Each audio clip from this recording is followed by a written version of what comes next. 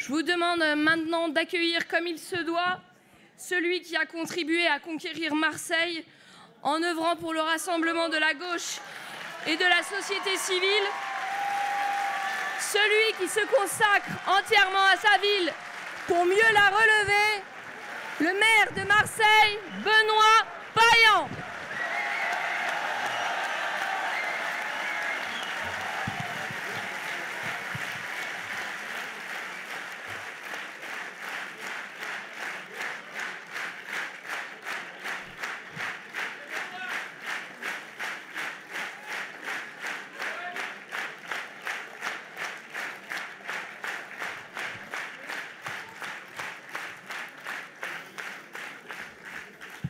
Chers camarades, c'est ce soir. Et ça devrait aller, puisqu'il semblerait que, et pour l'Olympique de Marseille, et pour les socialistes, on soit à jamais les premiers. Chers camarades, c'est quelque chose, hein, les congrès socialistes. Vous vous en doutez, mes chers camarades, c'est pour moi, c'est pour nous une fierté de vous accueillir ici et maintenant à Marseille. Mes camarades, ce n'est pas la première fois que Marseille accueille un congrès socialiste, et c'est d'ailleurs ici, à Marseille, que le premier congrès de notre histoire s'est tenu il y a 144 ans. C'est ici, dans cette ville, ça n'était pas cette salle, mais ça n'était pas très loin, que des ouvrières et des ouvriers que des instituteurs, que des paysannes et paysans, et c'était ainsi qu'était fabriqué le Parti socialiste, des délégués, viennent de toute la France, convergent, se retrouvent et décident pour la première fois dans l'histoire du militantisme français de fonder le Parti socialiste. Mes chers camarades, comme je viens de vous le dire, Marseille et les socialistes sont à jamais les premiers. Nous sommes les premiers et particulièrement à Marseille, parce que Marseille, et vous le comprenez, et vous la sentez, vous l'avez vu, vous l'avez vécu, est une ville qui a besoin du politique, est une ville qui a besoin de politique, une ville qui a besoin d'une gauche forte, unie, d'une gauche capable de changer le cours des choses. Et c'est à quelques rues d'ici que nos aînés, en 1879, ont décidé de se retrouver pour construire, pour se rassembler, pour faire et fabriquer un parti populaire et socialiste. Cette maison commune, chers camarades, que vous venez peut-être aujourd'hui, une fois encore, une fois de plus, de sauver. Je suis très heureux que vous ayez trouvé ensemble le chemin du rassemblement et de l'unité retrouvée, en responsables politiques que vous êtes et qui savent que ce qui vient de se passer démontre une fois de plus, s'il était nécessaire et important de le dire, que ce que nous avons ensemble est plus fort et plus grand que ce qui nous divise. Olivier, tu as désormais la responsabilité d'un parti qui va avoir besoin d'un premier secrétaire qui donne toute sa force, toute sa confiance et toute sa foi pour rester unis.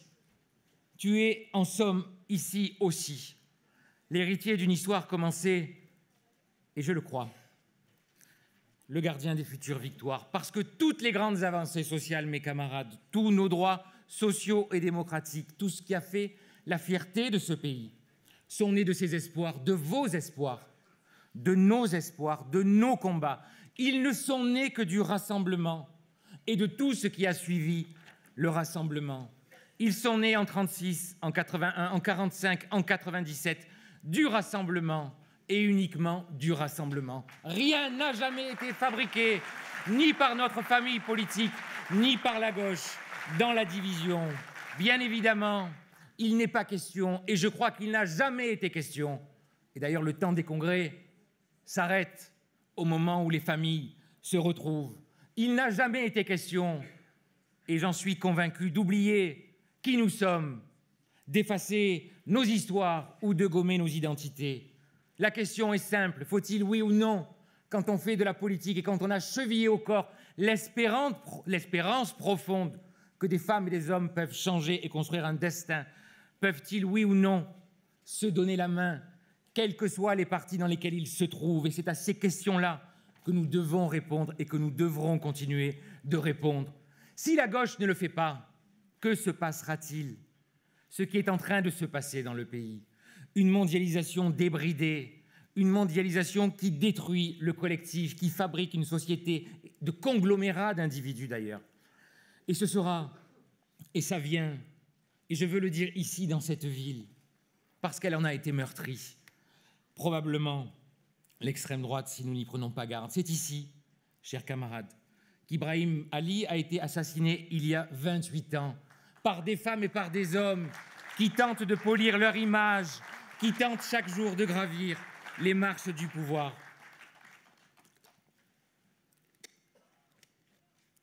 Et puisque j'en suis à la moitié de ce discours et que je lis une phrase de Léon Blum qui dit qu'il ne faut jamais se résigner, je vais à mon tour continuer. Vous avez, vous avez eu et vous aurez rendez-vous avec votre histoire. Vous devez être, vous êtes, vous serez l'espoir qui se lève et le destin qui ne se résigne pas. Cette ville, elle revient de loin, elle vient de loin. J'ai l'impression cet après-midi que le Parti socialiste aussi. Chers camarades, il y a dans le peuple de gauche et dans le peuple écologiste des gens qui attendent que nous renouions avec fierté, avec nos combats. Ils doivent savoir, ils doivent entendre aujourd'hui comme ils l'entendront demain, que la gauche n'est pas orpheline, bien au contraire.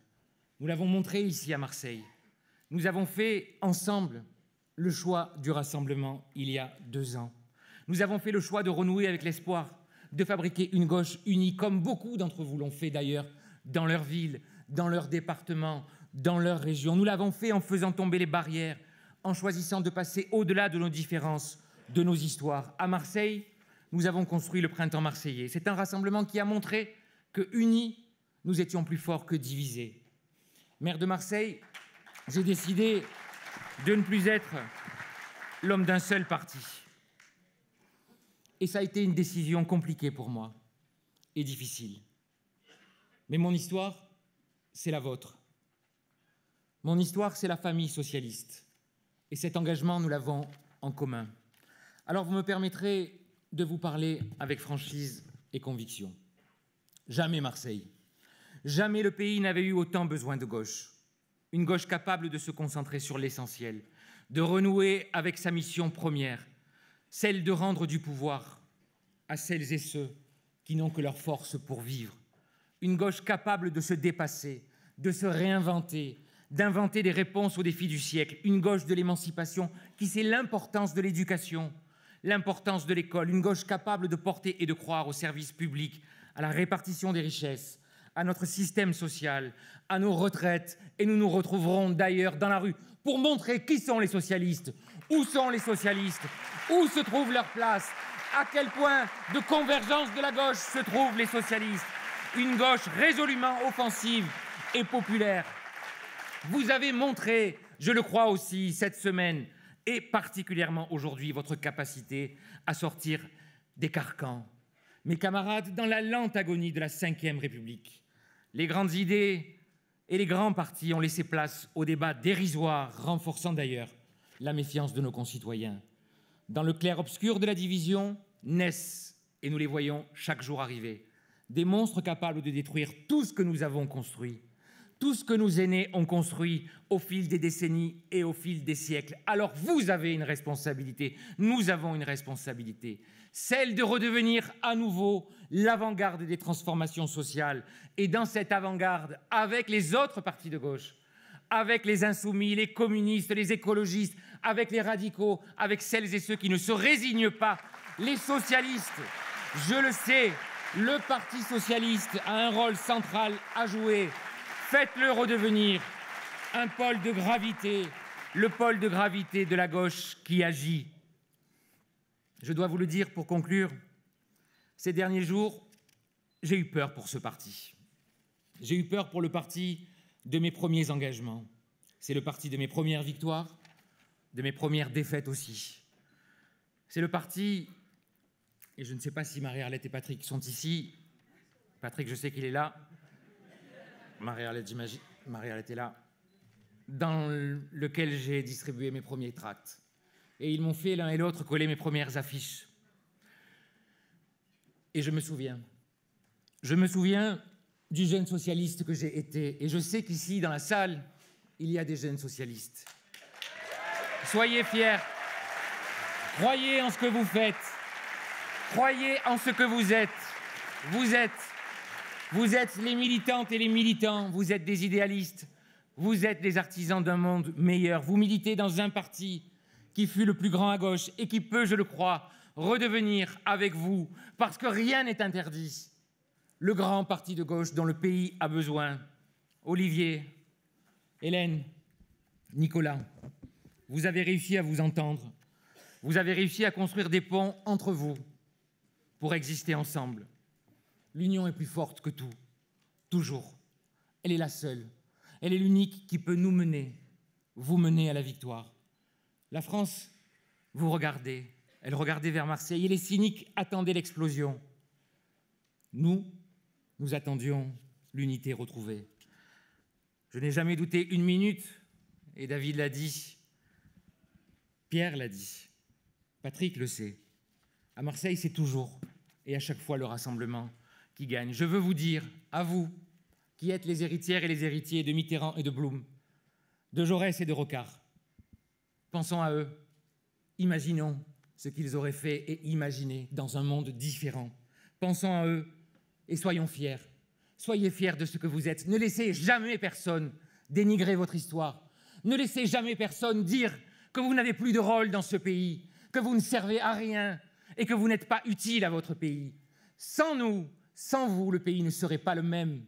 Il ne sera pas le même si demain vous êtes capable de réinventer un espoir Soyez fiers de ce drapeau. Soyez fiers de la rose que vous devez garder à la main. Et vive le socialisme. Vive le socialisme démocratique. Et vive le Parti socialiste.